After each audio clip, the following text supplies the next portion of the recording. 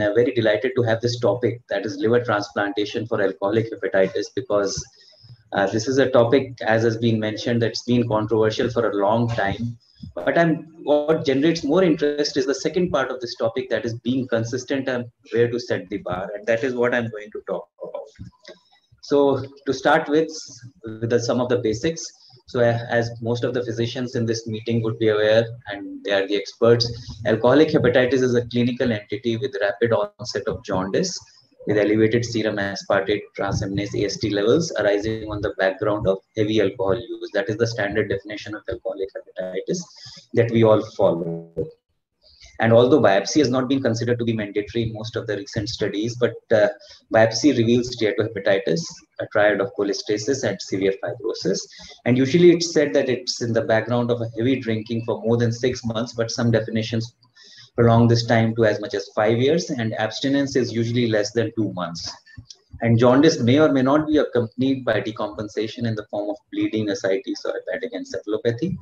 And over the years, numerous prognostic scores have been published and used, of which the most popular ones are the MDF uh, score, the Lille score, MELD score, and besides that, we have the ABIC score from Spain, and then we have the joint effect models. All of them trying to predict the outcomes of these patients that which are likely to survive and those who are not. However, it's been seen that up to 70% of these patients would die within the six months, that especially those who have a MDF score of more than 32. And uh, unfortunately, most of these deaths, that is up to 90% of these deaths would occur in the first two months. So we have to act, we have to act fast. So what is the treatment? Now, for years, the medical therapy has been the cornerstone and transplant was always in the background. Mild cases, that is those with an MDF of less than 32, were just treated with supportive care, while there was a role for and there is a role for steroids when you have more severely ill patients who are defined with a score of, of 32 or more than that. However, steroids are not a panacea for this condition and has been uh, shown that over the last 50 years since the first RCT was published, we have had almost 14 RCTs over the last 50 years, but still we don't know what is the best, who are the patients who would respond best with steroids and then steroids have very limited benefit and i've just mentioned this STOPAH trial which is uh, very well published and well read that though the steroids are beneficial but if you look at the actual results the benefit was not reaching statistical significance and the reduction in mortality was to the tune of only 3% in the steroid versus no steroid group. And actually, there was no benefit in terms of a 30 day or a one year mortality. So, what we are looking at is that slight improvement in one month or four week mortality. And the flip side was that steroids were associated with serious infective complications, uh, that is 13 versus 7%. And this is the very important part for a transplant surgeon because these patients then become untransplantable. And therefore, because of the side effects which have not been highlighted in most of the studies, in actual practice and in one of the surveys it was found that only 20 to 5 to 40 percent of the providers were actually using steroids.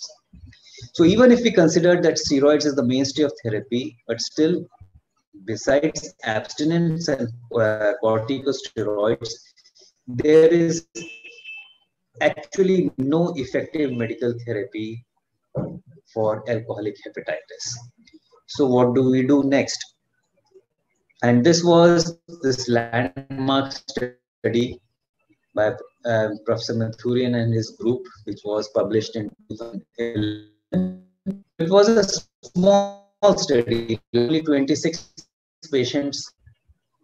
Uh, selected two patients presented with severe alcoholic hepatitis were the results were startling. Early liver transplant associated survival advantage at six months, that is 70% versus 20 continued uh, for during the next two years of study. But the that study was considered not only that was being transplanted, and this highlights the taboo with which these patients of severe alcoholic hepatitis have been treated, not only by the general population, but actually by the providers, the physicians, and the surgeons. And uh, it's been often repeated that alcoholism is a uh, self-inflicted disease. So why to go ahead and do a transplant, waste an organ, whether it's in the DDLT setting or the LDLT settings? These are the arguments that have been repeatedly mentioned to prevent these patients from getting transplanted. And it was not only because of these patients being very sick and falling into the ACLF group, ACLF3, and the results of ACLF3 in general, we are we all know are inferior to transplant for lesser sick patients with lesser sickness. So com combining both these factors, that is sickness of the patient and the etiology of the disease, these patients were not actually offered transplant. And this this this paper was considered really a landmark because it's changed the entire scenario of liver transplant for alcoholic hepatitis. So what were the arguments against early transplant for patients with alcoholic hepatitis? Because till then, till 2011, and even now, many of the centers in the West and the, uh, also in our country would stick to this six-month rule because it was said that it allows the time for liver to recover and many of these patients may not actually need a liver transplant. So you're saving on the organs and you're saving on even in india where ldlt is the predominant form you're saving from a healthy person undergoing a liver, uh, uh, necessary surgery. Then the more important argument that was put forward was that the six month uh, abstinence period allows the patient to demonstrate commitment to abstinence. And it also allows for the implementation of preventive strategies. And this was the most important argument that was put forward for uh, denying the benefit of liver transplant to these patients.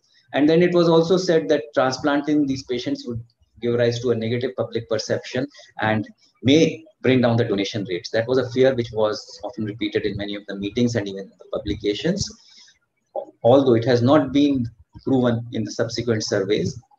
Alcoholic hepatitis is a self-inflicted disease, therefore the patients are less deserving. This was again an argument that has been propagated repeatedly, but again, it has been disproved. And greater relapse rates will lead to greater graft loss rates and thus wastage of the organ. So these are all the arguments that have been put forward over the years for denying liver transplant to patients with severe alcoholic hepatitis. However, what are the arguments which favor early liver transplant? The most important is the, that up to 70% of these patients will die during six months uh, waiting period and therefore you won't have these patients to transplant after six months. So liver transplant actually save lives. And this was a study from mount sinai published in 2016 which actually showed this stark difference in survival the one year survival in patients who did undergo a liver transplant with this within the six months period and those who did not and only 11% survived one year in the patients who did not undergo liver transplant. Therefore, it has been said that six-month rule is imprecise in predicting relapse, and it is discriminatory against patients who might be having a favorable psychosocial profile and may not undergo uh, relapse to uh, severe drinking or harmful drinking. So this was very discriminatory. And then there is no definite scientific basis to this six-month rule then it is like we have uh, often talked that alcohol is a self-inflicted disease but this is putting it too it's too simplistic. Alcohol abuse disorder we all know is a, has a complex genetic psychological and a social background. And it would be just simplifying it too much if they, we say that it's a self-inflicted disease. If we go by that analogy then even nash is a self-inflicted disease because obesity again you can you have a control of, over your diet? So obesity is also a self-inflicted disease.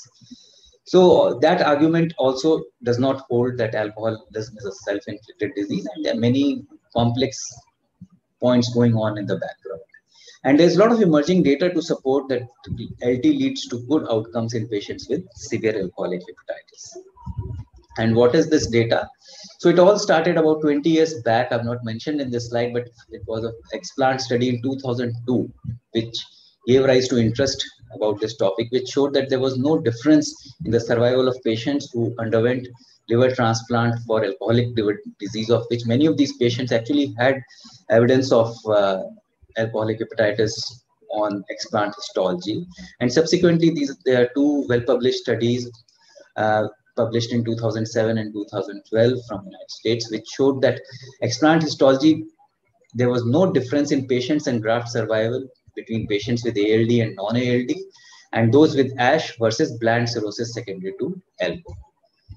So that was the first uh, study. These are the first studies which gave rise to interest about transplanting these patients. And then this was a very interesting survey from France, which studied the impact of Mathurin's publication on the practices of the liver transplant centers. And this was a questionnaire which was sent to 18 French liver transplant centers. And that clearly showed that before 2011, 65% of the centers had never performed an LT for alcoholic hepatitis. While after this publication of this study, 71% of the uh, centers started doing liver transplant for alcoholic hepatitis, although the patient selection criteria were not uniform and the numbers therefore undergoing transplant for alcoholic hepatitis varied widely between these centers.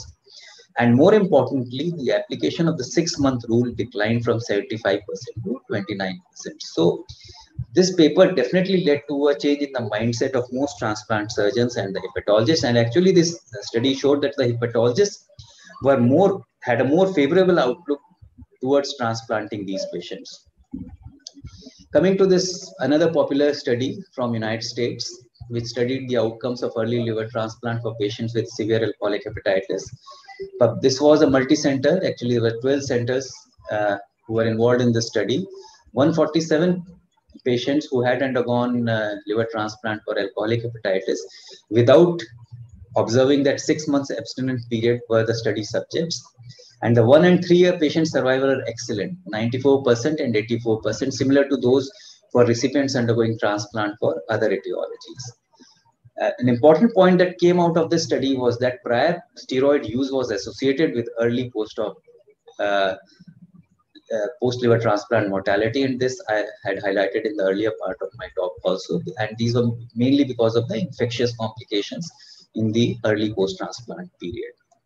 And when we look at the recidivism rates, so the incidence of harmful drinking or sustained alcohol uh, use was 10% and 17% at one and three years. And that has been shown in several other studies that the recidivism rates are usually in the range of around 20%. This is just accumulative data from the United States, the, the studies. I've already talked about these studies in the previous slides. And this is just a graph to show how the transplant rates for alcoholic hepatitis have gone up during the last 30 years. And so more and more centers are taking up seriously uh, liver transplant for alcoholic hepatitis patients, although the caveat is that most of these centers are very choosy about their patients and rightly so because it is the selection of these patients which has made all the difference. You cannot just go and transplant every patient with alcoholic hepatitis so how to select the patients? Actually it's still an evolving field and it reminds one of the early days of liver transplant for hcc uh, in the 1990s when uh, the liver transplant for hcc had started people started transplanting every hcc for but then the results the survival outcomes were very poor. The recurrence rates were very high till the Milan criteria were published. So I think we are still in that stage where the selection criteria for transplant for alcoholic hepatitis are still evolving and maybe a couple of years down the line we have some very definite criteria like uh, I couldn't say the Milan or the UCSF for HCC. So an ideal selection criteria should consist of measurable parameters and then can predict the risk of survival as is recidivism in the patients and whether the patients are resistant to any modification therapy for behavioral therapy. So that would be the ideal goal or the goal. The currently the selection criteria that are being followed by most of the centers around uh, the world are basically patients with severe alcoholic hepatitis as predicted by the MDF score or the MELD or whatever the center is following. No, these patients must be non-responders or eligible for medical therapies because whatever has been said, steroids still have a place in the management uh, algorithm of these patients. Very importantly, favorable psychosocial profile is very important to prevent uh, the patient going back to harmful drinking. Should have good social support, family background, and then it has to be a multidisciplinary uh, transplant selection committee consensus before we go ahead with transplanting these patients. And patients with recent infection which has been treated or GI bleed should not be excluded because time is of great importance. And as we have seen that most of these patients are dying within the first month. So we cannot wait for these patients to get totally infection free or wait for that period of six to eight weeks after their last bleed because during that time we may actually end up losing these patients.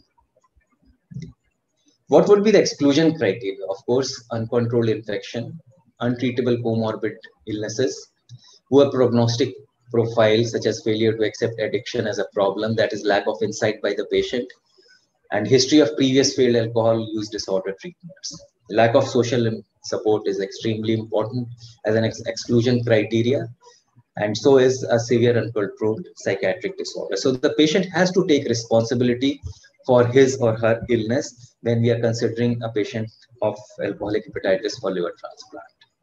This was uh, this is our unpublished data over the last two years. This was just an informal study that we did, and uh, we surveyed our patients who had been transplanted for alcoholic liver disease, and we segregated the patients into those two groups with bland cirrhosis versus ASH 15 and 64.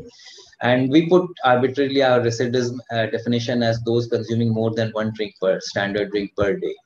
So we found that the recidivism was no different between the patients transplanted for bland cirrhosis versus ash. And this our results have been substantiated uh, substantiated by uh, actually published studies from various parts of the world. So the recidivism rates were different and we need not be overly worried. Of course i'm not uh, discarding the idea that these patients have to have uh, uh, like a serious assessment by the psychiatrist or the psychologist before we consider them for a liver transplant whether it's an LDLT or the DDLT and although this graph is not truly about transplant for alcoholic hepatitis from our center, but we looked at into our patients of ACLF recently, and about 20 to 22% of the patients in this both the groups were alcoholic hepatitis.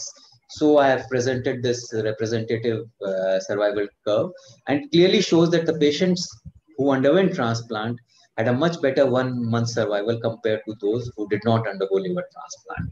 And uh, as I said, that roughly 20% of the patients in this ACLF uh, group were transplanted for uh, severe alcoholic hepatitis. So it goes on to show that on those two accounts, that is recidivism as well as uh, the survival after transplant, we had positive outcomes and therefore we have become more liberal while considering alcoholic hepatitis patients for liver transplant. And this, I, I think, is an emerging trend uh, all around the world. So I would say that now it's time that uh, over the last many years, the data is getting crystallized, the thoughts are getting crystallized, and we have to move, and we should be moving from controversy to consensus. So what are the points on which we have consensus?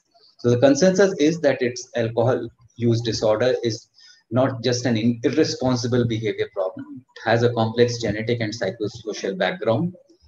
Severe alcoholic hepatitis has very high short-term mortality and therefore we have to act fast. The prediction models for alcoholic hepatitis, whichever we are using, are not very accurate. Even uh, MDF uh, patients who have a score of less than 32, 30% of those will also die within one month. Medical therapy, only steroids have been found to be of some benefit and in a small percentage of patients.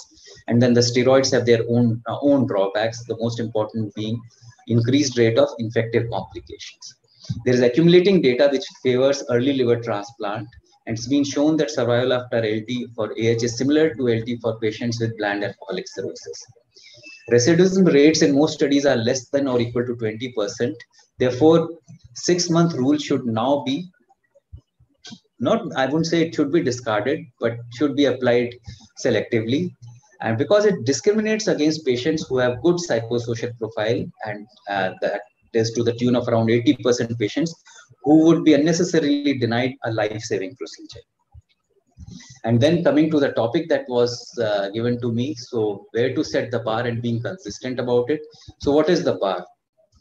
The no principle of normal liver transplant should be applied in my opinion high mortality that is high mortality without transplant and patients not too sick to survive a liver transplant so uh, the patients with severe alcoholic hepatitis fit the bill on these two accounts and then it is the responsibility of the treating team that the post transplant care should be tailored to optimize the outcomes. And in this particular case, it has to be proactive management of alcohol dependence. And how to improve the consistency? It's by making the selection criteria more objective. And I'm very positive that it is actually happening. So with that, I come to the end of my talk. Thank you for your kind attention. Uh, thanks, Shaleen. That was that was excellent. Obviously, um, I think it's like you said, it's probably a mindset issue rather than clinical data issue here. Um, if I may ask you one question, you know, yes, if you please. have a patient with a high Maddrey uh, mm-hmm. in your ICU, at what point would you approach the transplant question, and how long do you wait um, for your medical management to respond? Do you wait the standard five day, seven day response, and how do you how do you approach that? Uh, so that's a very good question because uh, being uh, whenever we have a patient, we'll go by the clinical and the social profiles of the patient. So one is how sick is the patient, whether he is transplantable or not, whether he's severely infected or not. So main concern is it's the degree of organ failure. If he has multiple organs which are failing, he's deteriorating, then we would not be considering transplant. And secondly, and more importantly, I think it is the family if we see that the family is supportive and as we all know that in india especially in the north we only have LD, ldlt as the option. So if they are coming forward on their own volunteering that we have donors and we want to uh, go ahead with the liver transplant because of, of very often these patients are too sick to be interviewed in a proper setting of a stable psychological background. So we would be liberal in transplanting these patients considering that after a clinical assessment we have a fair idea that this patient is likely to make it. So if you consider the timing of medical therapy, definitely we, we don't go for uh, use of steroids because we feel that steroids have always resulted in a very high infectious complication rates post-transplant. So we may be biased against steroids, but that has been because most of the patients that we receive are actually in a state where they have already received steroids. Many of those patients. And we have had uh, like negative outcomes after transplant for these patients. So per se, as a group, we are not using uh, the steroid therapy for our patients until unless they are very stable and they are actually these patients, the those who are very stable, actually do not need steroids. So our protocol is to just optimize these patients on the aspects of their organ failure that is if they can be taken off the ventilator if their kidney function can be improved if they can be we don't aim for freeing these patients of infection so we don't wait for them to actually become culture negative. Because over the years we have realized that you, it is not possible to make these sick patients infection free so our goal is to just prepare the donor see where the patient is moving with our medical management. If he's improving, then on the first possible date where we think he's been adequately optimized and this is the best optimization that is possible in this patient, we would take this patient for a liver transplant. Okay, thanks, Shaleen. I mean, I would I would go as far as to suggest that if the family is coming up with a donor, that is solid evidence of family support. Yes, you, yes, you I totally agree. To, you don't need to go for any other assessment. Uh, any any other questions from uh, perhaps uh, Kaiser or Dr. Kaushal or Charles? Yeah, please do. So uh, I think uh, one important, very important issue in these patients is to differentiate between an alcoholic ACLF and a pure alcoholic hepatitis. So if you have a pure alcoholic hepatitis and possibly the first episode of this kind of uh, alcoholic complication, I think these are the patients in whom steroids should definitely be tried. Problem is that we've not been able to filter out patients who have pure fatty, uh, pure alcoholic hepatitis versus ACLF. And many steroid trials possibly would have included ACLF patients also, or many physicians who have experienced treating these patients with steroids would have treated ACLF, alcoholic ACLF patient with steroids. So this is the group of patients which will have bad outcome with steroids. But a pure alcoholic hepatitis having a large liver, possibly the first episode of hepatitis would do good with steroids. That's uh, is my reading. Although I wouldn't say I treat a lot of patients with steroids. Yeah, so I agree with you, Kaushal, on that account. But I think in the real life scenarios, this is a very difficult situation. And even the guidelines for trials have said that biopsy is not mandatory now for including patients of alcoholic hepatitis in the in the trials. But then, short of a biopsy, it's very difficult to differentiate pure alcoholic hepatitis or the first episode from underlying ACLF. So it would be, it, I think this is easier said than done. And myself being a surgeon, and uh, therefore the patient profile that I see is most of either patients. They, I think almost 100% of the patients that I see are with a background of ACLF or they have received an, a steroid therapy outside before being referred to us. So I would say it's a referral bias. So I cannot answer on that question with great confidence. But yes, what you say is I totally agree. But at the same time, I would like to say that it's very difficult to implement or follow in the real life scenarios. Yeah. So uh, it's a question I think uh, perhaps Dr. Uh, Shaleen can answer or Dr. Kaushal can. Uh, the question is how many of your patients have relapsed with alcohol after transplant? I think you did address that in this slide, but uh, perhaps that needs a bit of reiterating. Yeah, so I have mentioned that in our small, that informal study that we survey that we did, actually all of the patients did not answer to our survey, but who, those who ever answered, it's basically around 13% that is coming who went back to alcohol. And when going back to alcohol, we excluded the patients who are occasional drinkers. What the cutoff was one drink per day. So by that criteria, roughly 13 to 14% of the patients in both the groups went back to drinking.